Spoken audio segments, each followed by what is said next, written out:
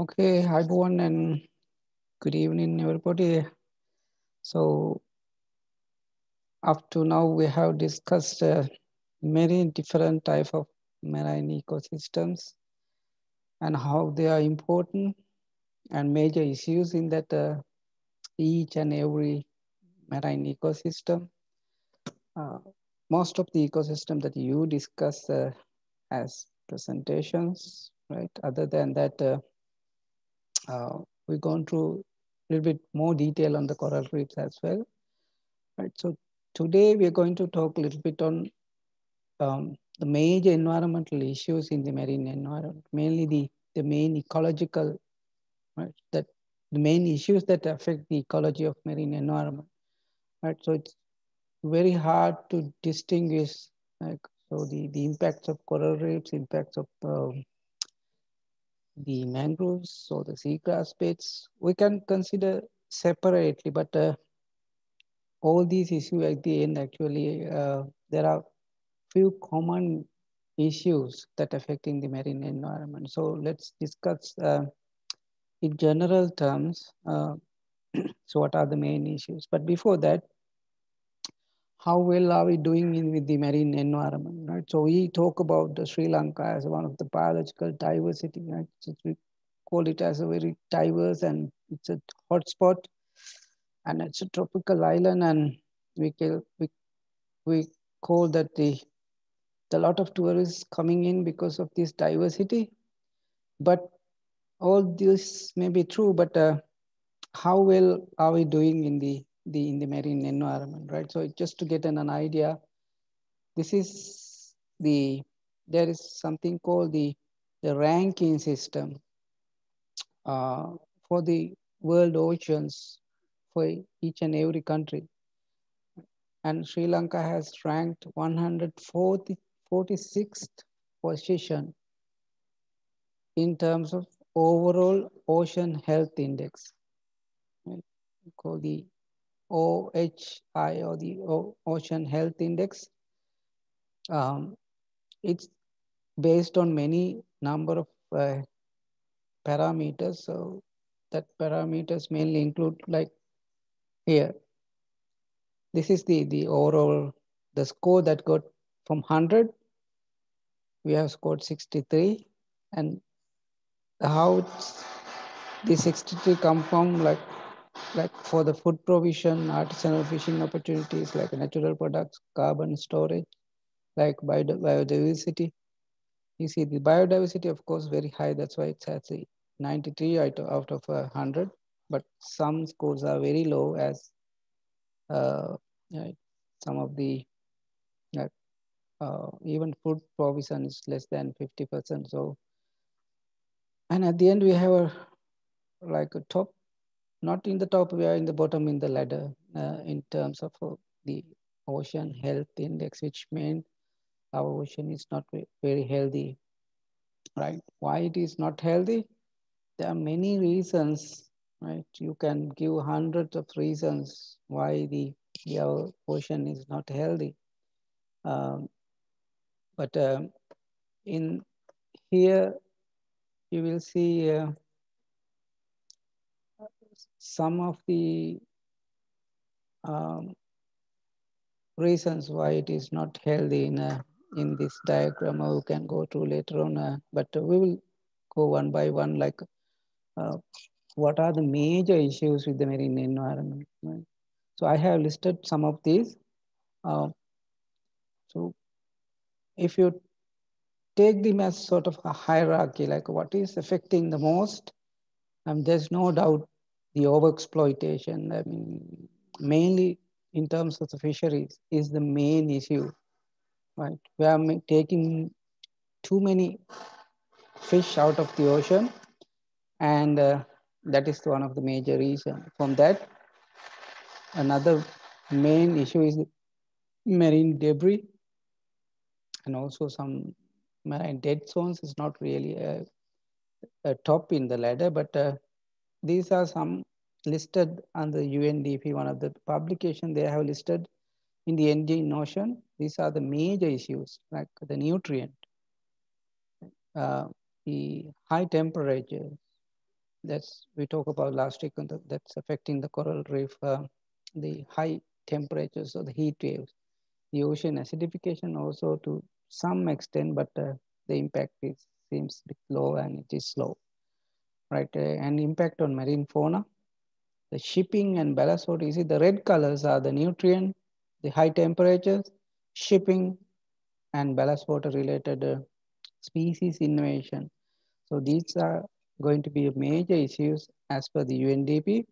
But other than that, the overexploitation and marine debris, these are the key issues that you, we will observe in the marine environment, right? So I don't want to go through the mainly on the fisheries because we have already taught a lot on the fisheries. Um, even last semester we discussed uh, many things about the fisheries, so I don't want to go back. Um, you have a better understanding about the, the major issues with the fisheries and how would be the fisheries in the future and um, what are, there are so many different illegal banned fisheries and then, uh, but, uh, but then what is the solution for fisheries is we know that uh, the the capture fishery is not going to be a solution for the future. So then we have to go for culture fisheries. So we have to culture them, maybe in the, the coastal zone or else we have to go for mariculture, that culturing fish in the marine environment. Um, so now the question is whether it is possible.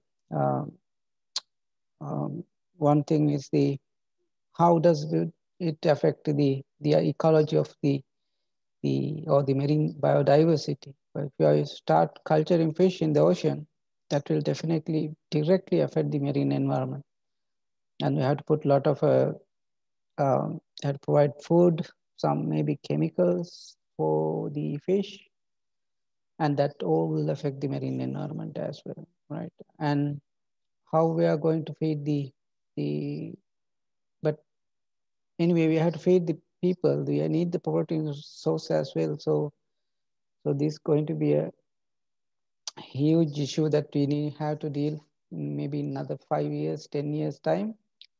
Uh, the, the scarcity of food is going to be a huge issue and then sources of protein. Then uh, if capture fishery is not going to happen, then we have to go for culture fisheries, right? So as you would see from the, uh, the trend in the future, it's for going for aquaculture or more culture-based fisheries and the, the capture fisheries is in a sort of a declining phase. So um, that is the challenge that we have for the future, which you might have to deal with as the, the graduates now, but uh, you will be involved in the, the managing resources in the future, which you have to deal with, right? So, and uh, this is the situation 2012, the almost 50-50 capture and culture fisheries by sea by 2030.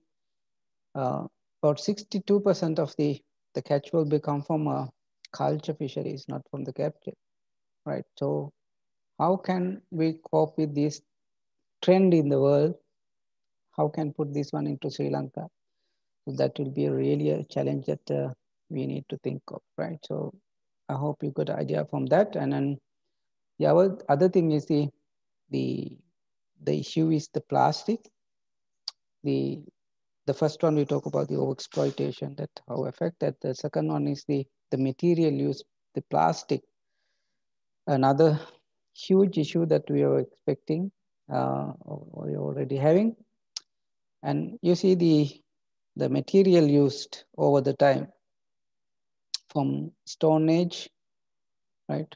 Where they use the stone, then the, the Bronze Age, then the Iron Age, and we have come to a plastic age. I mean, this is the material used, right? So the plastic has become the, the main material, in the, right? So maybe in the future, maybe in other hundreds of 500 years time. So the today's generation, or we will be named as the future generations as the plastic era, right? So we were in the the plastic era in, the, in terms of material use, right? So how does uh, these plastic uh, cause problem in the marine environment, I think we have discussed many and you have very good understanding as well. So I don't want to go into detail, but uh, uh, almost all the ecosystems in the in the marine environment, uh, marine and coastal environments, they are all affected by the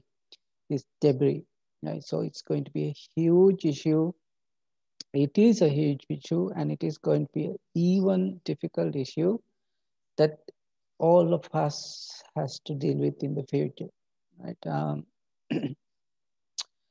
um, and this uh, the effect of these plastics being well understood in many cases right and how does it affect and the this uh, garbage patches in some of the oceans especially in the pacific ocean. There are millions of tons of plastic in the ocean as a, a large patch. And then the impact of these plastic we can't even imagine how it affect right so you see the the the plastic the damage that plastic would uh, and the material would have done in the marine environment, right? Um, and almost all the ecosystems are affected by this plastic you see in the mangrove. This is these are the images from the Negombo Lagoon, uh, just in the Kadolkele, uh, how it look like, right? Um, and this is the um, the underwater habitats, uh, some of my own images uh, where we have encountered plastic everywhere in the coral reefs, you see, right? You see how much the reefs are damaged from these uh, plastics, right? Even here, uh, it's almost everything. I think you might have seen these images before. You see, uh, area without um, nets or the plastic material is much healthier than the other areas, right? And even in the, the ocean depths, um, all these four images from the Negombo uh, coastal zone, you see, the 12 meter, 18, 22, 14 meters depth. This is actually a sort of a shipwreck. You see how much uh, plastic materials, these are all abundant, right? Uh, and this is what we have collected and you see even the the the polythene films. Just in the ocean bottom we think that they will be floating but even in the deep oceans you can you will see this uh, the plastic right? Um, and you know this uh, with the plastic the waste dumping into the ocean we have come to a fifth position in the world. And then with that uh, um, I think we have involved in many uh, kind of work related to plastics. Um, so I don't want to go to this. And some of you have already involved in the, the CSIRO plastic project, uh, which actually we are analyzing these days at these days, which I would be able to share with you some of the findings. Uh, I think some of you already joined as the volunteers in that group as well. But other than that, uh, we have done many surveys on the marine debris, right? And then it's becoming a huge issue for the country. And not only the, the macroplastic, but uh, from there to the microplastic, the small plastics, right? The plastic, macroplastic is a problem when they break into small and small pieces now, previously we thought that when the plastics breaks into smaller pieces, so they are degrading, but they are not really degrading. Also, they are degrading, but they're not biodegrading. They just break into smaller and smaller pieces. Then the smaller the size, then they will do more harm as smaller particles where the, the animal can absorb, right? And uh, and uh, of course uh, uh, even the small microorganisms can ingest this uh, microplastic and causing harm. I'll, come to, I'll show some slides, right? So uh, this images shows the, the level of uh, plastic uh, accumulation in the marine environment, like in some areas, huge accumulation of plastics. Uh, this is just in front of, you see a temple in Trincomalee, uh, close to the town. Uh, you see how much plastic just in the beach. And then this is in the Kudavella in uh, close to Matara, uh, Kudavella, close to a fishery port. You can see the, the how much plastic being accumulation. Like even you clean it, maybe a couple of months time, it just look like again like this. One of the the hot spots in Sri Lanka in terms of the plastic, right? So, um, yes, uh, the Sri Lanka has become, uh, you know, the top five in terms of plastic uh, dumping into the ocean, mismanaged plastic dumping. And this paper actually we published in 2018 and now have become one of the key publication uh, uh, which a lot of people now referring uh, about Sri Lanka. So that is actually came from one, one of these uh, surveys we done. And you see this uh, plastic, earlier we talked uh, the problem with the ingestion or other form, of, but there is another issue with the plastic, that this plastic can serve as a, a vector or pathway for marine organisms to transfer right? And I think you have heard about something called this ballast water, biofouling, right? And they all happen through the shipping or the aquaculture, something like that. Now see the plastic, all these we collected in the, in the beaches, like see how many animals that float on the these plastics. You see they are live. Even here they it's live in the bottles. Uh, this one is dead, but uh, all these are live, you know, now only the scientists have recognized uh, this biofouling uh, on plastic as a pathway. Right? Actually, last three days I was in a sort of global expert committee in a, we're talking about this, uh, the biofouling, what are the pathways and then, right, it is a, like a top level scientist. Uh, somehow they have invited me maybe from uh, Indian Ocean. So actually they have not even recognized this, uh, the plastic or the debris as a pathway. So, uh, so we were just, I managed to add this one as one of the pathways. So will talk this one much more detail in the future, right? Right, the other thing is this microplastic, right? We call this macro problem is microplastics. Now the microplastics everywhere, right? Even in the cosmetics, even toothpaste, some of your detergents even, right? I don't want to say the commercial names, but a lot of toothpaste, um, detergents, right? Uh, even the detergent that used for the washing machines, you might see these color small particles, which means they are microplast or the microbeads. Right? Uh, these are highly used, right? And with there are so many sources of microplastic. For example, your washing machine is one of the source of microplastic. You won't even believe that. Car tires, right? The car tires and the road tar, they all these become at the end uh, microplastic. Even paints, right? Um, um, they all, all can become microplastic, right? So, and you can see, right, some brand names also here, unfortunately, but uh, I mean, you know these things. You might have used these things, right? Um, you see, in the label, it says the microbeads, right? The main component of this one is the like, polyethylene sometimes is mentioned as, which means all these microplastics, right? right? And you see this uh, small tube of uh, this cleanser, how much microplastics are there?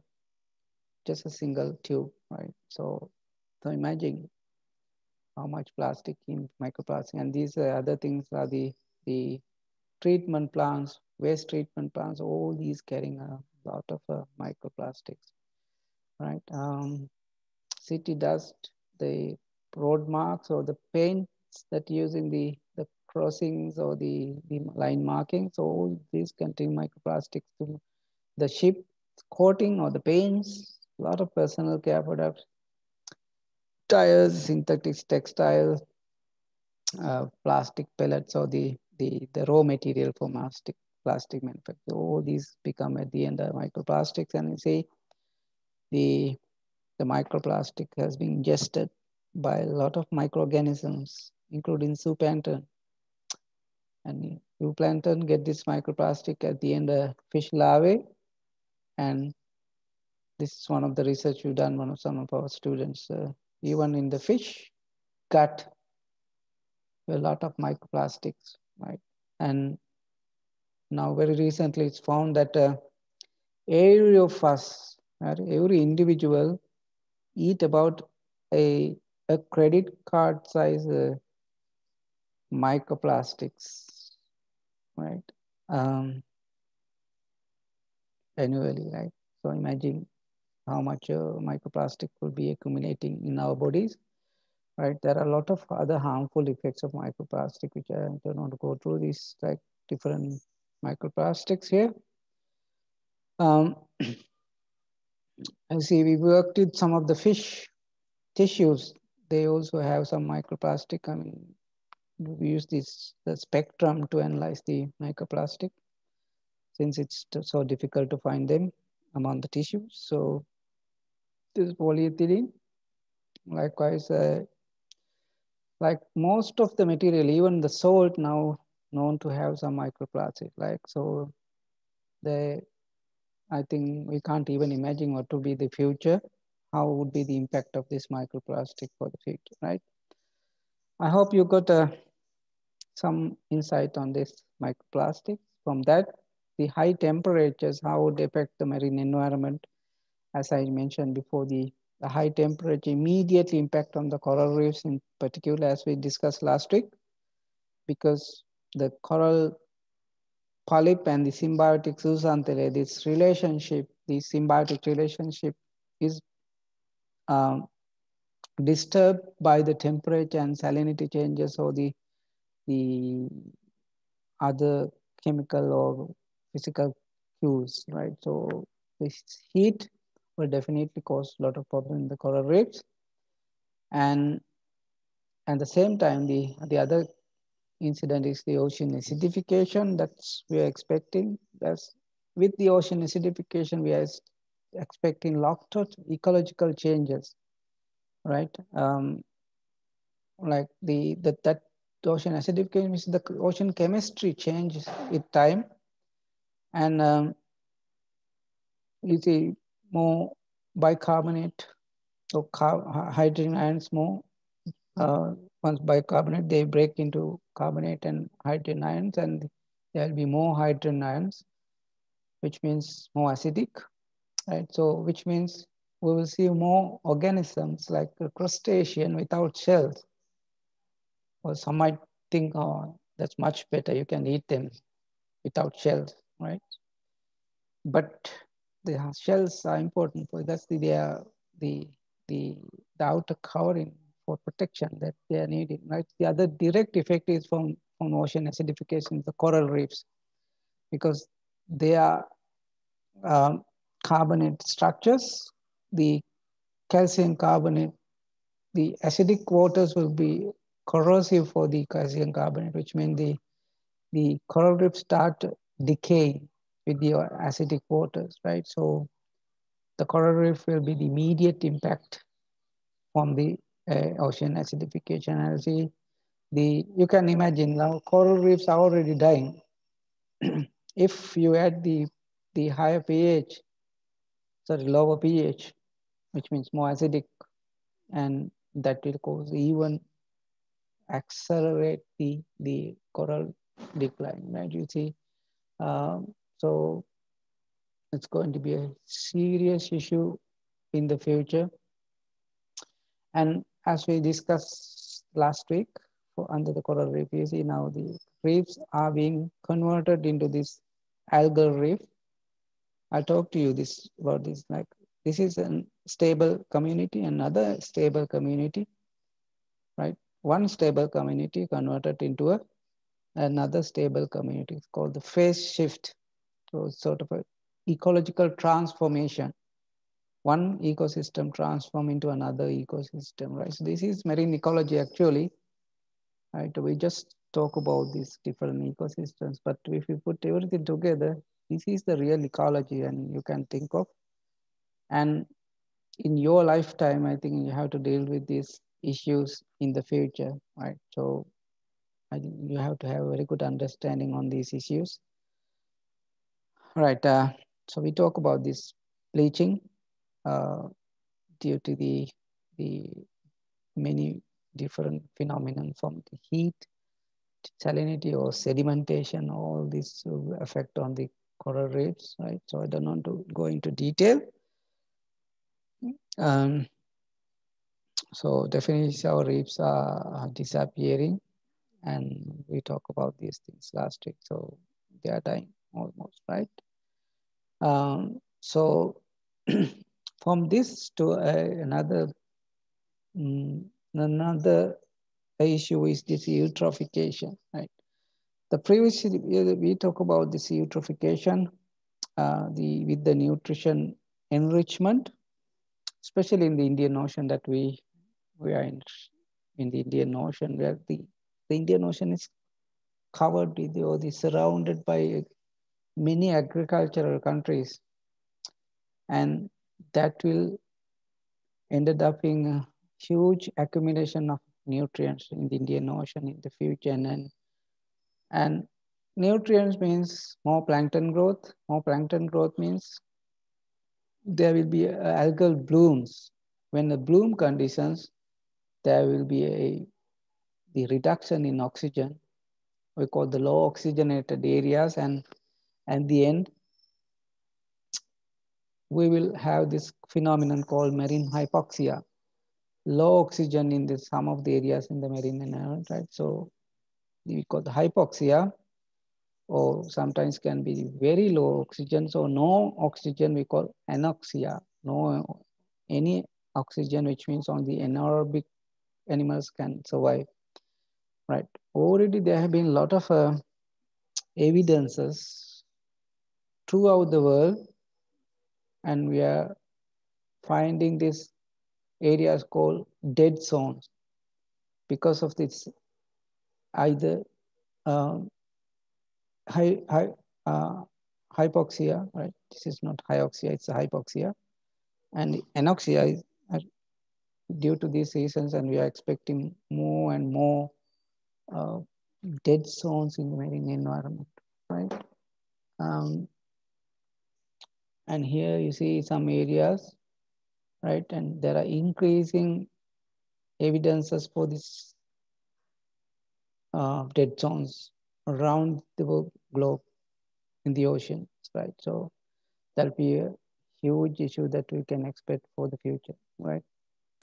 in the Indian Ocean, we even around Sri Lanka, you see in the, some lagoons, we experience some of these mass fish kills. So that's supposed to be due to this um, the hypoxia, right? So that is something that right. So if if it is hypoxia, you see the how the ecology will change in the any coastal or marine ecosystem, right? So you can imagine how it would be, right?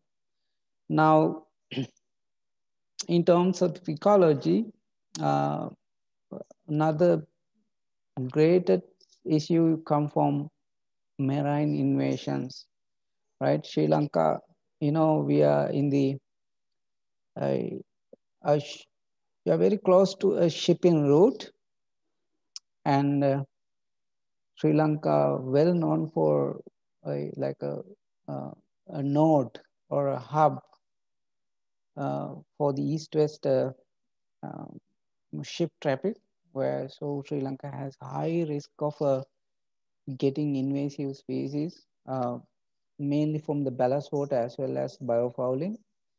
And uh, you see, this is a, some of the images from the ships, how they can be invaded by this invasive species. They can be very harmful, like you see in the propeller. They can attach to even to a propeller that's rotating very high speed with lot of resistance, but they can even withstand this, right? These uh, the intake pipes. You can see how they are clogged, right? And even the the ship's hull or the body. You see, if the ship's body is like this, the, the foil fuel efficiency is going to be reduced substantially, and which means they use a lot of fuel than usual. Right? So then they have to clean. These ships has to be cleaned time to time to get rid of this uh, um, foul, right? And and uh, these are the ballast water. Right? So another pathway of uh, invasive species spreading. Um, and the when the ballast water discharge in the right, you know the how you the ship use the ballast water. Uh, um, you know, when a, a if you are in a boat, you know, you have to, the, usually the boatman, you will be move around to balance the boat. You know? But uh, in the huge ships, several hundred meters length and you can't do anything. And uh, only the way the balancing is like, there are, all the ships are now double hull. There are two hulls and in between there are tanks where you can fill water. Right, so how the ship is balanced is the filling water or removing water from one side or another, different ballast water around the, the, the ship, right? So how they are balanced. So when they fill a lot of cargo, they remove all the ballast, right? When it is empty, you have to fully fill the ballast water tanks to keep the stability, right? So during this process, the the water from one area will be taken into another area or from that area will be taken to here. And that is a, a pathway where the invasive species can uh, transport by maybe a larval stages or spores or different, many different forms. Or otherwise they will get attached to the, the ship's hull and they can move around, right? So uh, this is about the biofouling. The biofouling is the accumulation of macro or microorganisms on the surface which may have exposed to it, right? And you see uh, the type of damage that this biofouling can cause in a ship, right? You see, so you won't usually see this because it's underwater, but uh, can be really harmful sometimes, right? Um, right? Just talk about the biofouling, and we don't want to go into that detail, but uh, there are many different organisms. So macrofouling, microfouling, just like uh, uh, even bacteria can fouling, but we usually talk about the the fouling by larger species like the barnacles, tube worms, mussels, the sponges, ascidians, uh, tube worms like that. So that is we call the the, the macrofouling. Right? So these are the major pathways from fisheries for fishing boats, the aquaculture structures, the renewable energy, like in the marine renewable energy, the tourism, maybe sometimes, and offshore oil, uh, shipping and the deep sea mining, all these are considered as some sort of pathways of uh, biofouling. So look at this one, the ship, how it's been bio, so impacted by the biofouling right? So this is uh, underneath the uh, ship. Uh, here you see a, a, ship in a dockyard. නැව් කොට උඩ තියෙන කතාවක් අහලා තියෙනව නේද මේ තමයි මේ මේ මේ හුඟක් වෙලාවට අර ඩොක්යාඩ් එකකට ගෙනල්ලා now clean කරනවා right so every ship time to time they have to clean like this because they will be uh, badly impacted from biofouling otherwise, right? You see, the propellers to other inlets all can be affected by this biofouling, right? And you see this, uh, it's not only the um, large vessels, but even the shipping vessels, all these can carry fouling organisms and they, the ships move around. They can go far areas and they can be infected by someone else's shipping boats.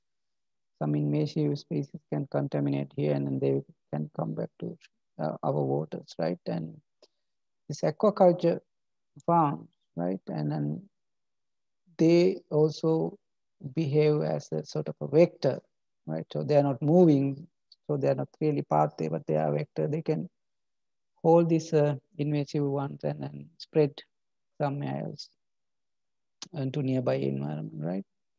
Uh, all other marine structures, they all can serve as the, like this, the, the offshore oil and gas rigs, right? Um, you see all these can uh, act as the uh, vectors or pathways for these uh, invasive species, right? And ocean renewable energy structures like this, right? Um, so you might think this is not a problem for Sri Lanka, but uh, there is a fan, plan near future that we are going to have this kind of offshore wind farms, just like in the Mannar wind farm we will have, and then they will be also infected from this uh, biofouling, right? And uh, the renewable energy structures, waves and tides, right? All these uh, can act as the, right. so what would be the damage? You see, in this, these are some of the images we took in the Colombo port, uh, like a type of damage that they are causing. Um, you see, these species, they are called as a globally known invasive species that we found in the Colombo port, right? There are more than 15 species, globally known species now we have recorded actually, they have very high potential. Like these animals, you see, you might not even heard about this. There's a family, it's called bryozoan I don't think even zoologists, you might not have heard about this family name called bryozoans, but we've we recorded them first time in the the history uh, in Sri Lanka. In our port, especially this Sopora irata and the Watersipora subtorquata, they all these are bryozoans, but they are highly invasive uh, species that can cause a lot of damages in the future. Even the some chordates like uh, ascidians, like here, they can be attached to the the the surfaces and they can uh, serve as the fouling organism, right? You can see uh, some of my students worked on this biofouling for several years now. We have doing a lot of work on biofouling for nearly last decade, I think. Uh, we have recorded all these in, uh, species. Uh, some of these red colored ones are globally known invasive species, which can cause a lot of issues in the future, right? So that the ecology will be totally different if you got this kind of a huge infection from uh, this kind of a biofouling organism, right? So this is this will be a, a huge issue for the future, what you call these uh, marine bioinvasions, right? So we're expecting huge issues for the future. All right, uh, then from that to other ecological impacts will be from the oil and gas explorations. Well, the explorations, so this is an, an example of uh, the, the last oil exploration we had in Gulf of Mannar. Uh, this is the ship that uh, the company used for this uh, exploration. Uh, it's called Chikyu, a Japanese vessel. Uh, these are actually live images we took, right? You can see it's me here. So I had a chance to go into this uh, ship while they are doing this exploration. we were in the, the environmental impact monitoring team right uh, what are the issue with this because um, the soil exploration, actually, you have to dig into a, very deep ocean layers. It's not here like uh, only start the digging only from here. It might go for several kilometers down the the the sea bottom for exploring the oil, right? So that will collect a lot of sediments from the bottom that will harm the anim marine animal. But more than that, the biggest issue from the oil exploration is actually they use this seismic survey. They use some radar signal um, for this uh, uh, mainly the the pre-drilling process, like to understand what kind of a the bottom habitat, bottom uh, what kind of soil is in the bottom, and then to explore for any petroleum. So this uh, um, um, radar going to cause a lot of damages or at least impact on the marine organisms. So especially the whales and the dolphins who communicate using the radar will be affected from this exploration, right? And another thing is the, the as I mentioned before, the Sri Lanka is right in the, the east-west shipping, we call the highway, right? There's a shipping highway here, right? Because from the Arabic region, all the oil, to the, the east is going through Sri Lanka, just below Sri Lanka, right? So that the last, uh, the oil thing happened because the oil tanker from here, from Abu Dhabi was, went to India, this side, they had to go around Sri Lanka and that's where they got uh, made somewhere here when they go around Sri Lanka, right? So this location, Sri Lanka in the Indian Ocean, you see, in a given period of time, in a, in a this is a snapshot uh, of uh, Indian Ocean. Photo එකක් ගත්තාම එක වෙලාවක තියෙන නැව් ගාන බලන්න if we have the shipping traffic around Sri Lanka in one moment. So these are, this is the, the highway and this is, these are the ships going to the Indian side because the larger vessels, they can't cross here because of the shallowness, then they have to go around Sri Lanka to the other side of India, right? So it's a long way, but there's no other way as well, right? Right now, the this uh, since we are in the shipping highway, Sri Lanka has very high risk. So we have been telling to the, the authorities for long period of time, but uh, they are very lethargic. They are not taking uh, uh, strong measures for this. You know, there can be, anytime there can be oil um, damage. There have been some interventions, but we are not doing very good. And that was very evident from the, the very recently, you know, this, uh, the, this is not a mess actually, MT New Diamond, that is the, the ship got fired very recently and containing somewhere 270,000 metric tons of crude oil, right? So imagine if this, any disaster happened, right? So the, you can't even imagine what kind of thing would happen, right? Um, but somehow we just managed to uh, minimize the damage, but uh, they had to even use some chemicals like this DCP, this the dry chemical powder. You might have seen some uh, the Sri Lankan Air Force people, they are some dropping some uh, small bags like things. Like it's actually this dry chemicals uh, distinguishes actually. Instead of uh, water or carbon dioxide, they use some chemicals uh, as uh, packets uh, to, it is being actually successful some, to some extent, right? Um, here you see the, the same ship, right?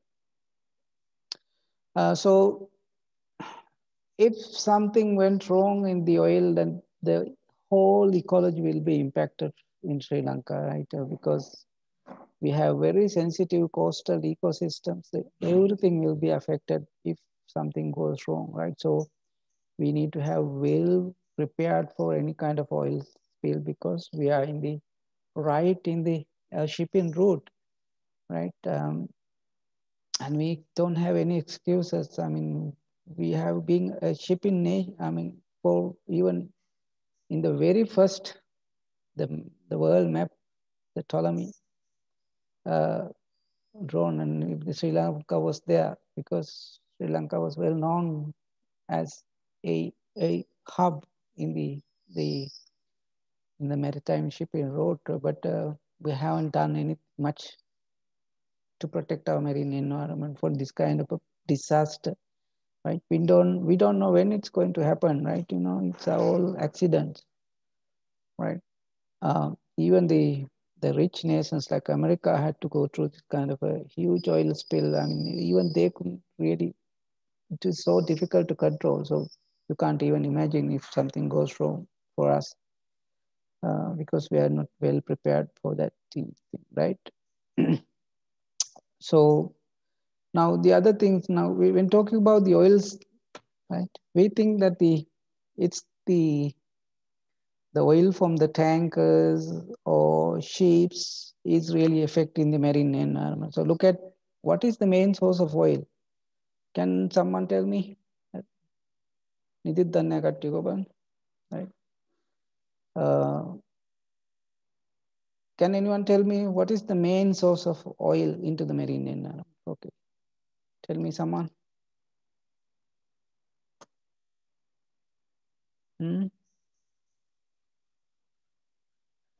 Sir, from ships. Okay, ships. Anyone else? Anyone has another idea? Right. Um, that's, I mean, everybody thinks that when we're talking about the oils into the marine environment, we think that it's the ships adding a lot of uh, oil into the marine. But look at this graph.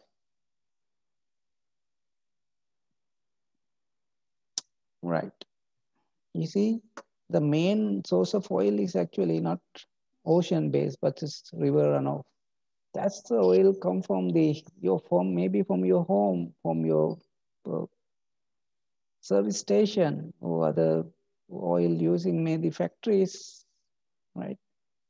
Um, look at this offshore oil production, like the oil production sites is the lowest.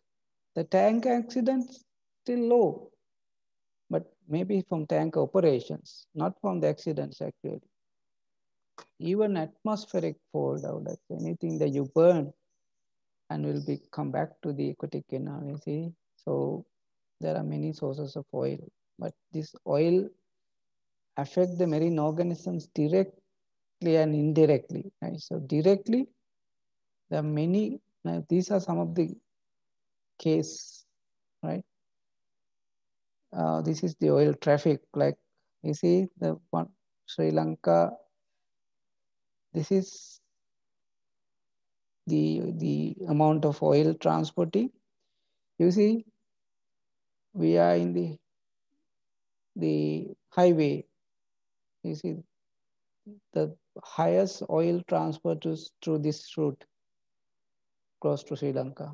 And the second one is this one, you see, from this area to the the uh, Soviet Russia, or the other, the England and Soviet, the, the Northern Europe. Right, so that's where you see some of the cases that happen in the world. Right, seeming not this uh, actually uh, in the Sri Lanka it's nearly happened. This one, this is the Exxon Valdez, uh, one of the greatest oil spills in the history. Uh, I don't remember exactly the dates, 1980s or 60s, I forget it. And this is another like uh, close to Norway, um, Korea, I think. One of the oil carrier just break into two suddenly. And there is no any solution, you can't do anything. And you see, uh, then burning thereafter, just ship break into two pieces and then all the oil, everything was in the sea. Right, so these kind of incidents are has happened a couple of times in the world. Uh, so anyway, it can happen because most of these oil carriers, they make even this, the diamond, this 20 years old, right? So most of the ships are like that. They can, they are very old. Just like even now the planes are in Sri Lanka, we have, they're for 15, 20 years old now, right? Um, right. So if oil spill happen, there are many diff, um, many things you can do, like using some booms, like like this, right? There are many different things you can do. You can uh, either um, like absorb some of the things, right? Using a skimmers, something like uh, like a sponge like thing, you can put it in and you get some oil collected and you know easily you can separate from the water and you can reuse the oil. Otherwise you can use a boom, like stop oil spreading like this. Otherwise you can use some oil, it's called the sorbent, uh, to absorb oil. Or uh, sometimes they use the dispersing agents, like, you know, in there, there is no way of, uh, like even after absorbing, if it's still something left, so they use something called dispersion or dispersing agents. It's like the oil break into small pieces and then which uh, make it easier for the microbes to digest the rest, right? And otherwise they use gelling agents, like it make a gel-like where they can collect them. And sometimes with the biological agents, there are some oil-eating bacteria and other microbes. You can use them or mechanical washing. You can like you can use some areas like this washing. Right. So these are um, there are many uh, things that you can do, but only the thing um, you need to have a lot of preparation for these things. That's the thing. Um, like something goes wrong, you have to get some of these devices from India. Even this case, you have to get some stuff from India for the uh, if something goes wrong. But uh, of course, definitely we need to have prepared for this kind of a situation because uh, it can happen anywhere, anytime, any moment. There is a risk, right? So imagine if this kind of oil spill happen around the port in the Colombo, right? So that will the end of the everything. Like you have to close down the port, and if the port has to close for more than one or two weeks, you won't have anything to eat even, right? And because we have to rely on many things on the import, right? So, um, so how this oil impact, right? There are many different ways. They are highly toxic, or otherwise, you know, the birds, like marine mammals, their skin will be covered, or like aquatic birds, if they dig into the water, then they are the the feathers will be covered with, them and they will be able to fly. Right? You might have seen in, with the with the oil. They don't know this oil. They just will dive into the water, and then with the oil, they won't be able to swim, uh, fly anymore. Right? So sometimes the volunteers have to like uh, wash them. The birds collect them and wash them if they if they to, to fly again right? So it's going to be a huge disaster. On the other hand, if it is hit on a coral reef or a mangrove, right, you will need uh, millions of people to clean up a mangrove or something, or it will take several days, months, to years to clean up, right? But it's still the toxic thing you can't even imagine. It, there are some immediate impact, the short-term impact as well long-term impact, even the like uh, some toxic material, it will cause some genetic variations in the animal, right? Likewise, so the impact of oil you can't even imagine, right? So, so it's that dangerous if some oil spill happen around anywhere, right? So that's where I need a, lot of uh, preparedness for this kind of a disaster, which can happen anytime, right? Um, All right. Uh, any questions so far? I'm not too sure people are still here. I can still see some 34, right? Um, anyone has any questions or comments? Right? පොඩ්ඩක් කතා කරන්නකෝ අනේ මම දැන් පැයක් එක දිගට කතා කරා right? No questions, no comments. Right? Definitely you should have some questions. In the meantime, I will check for the LMS if it's back. no, it is not. Uh, it says error reading from database. Um, I think maybe the LMS, the, the system may be down in the university.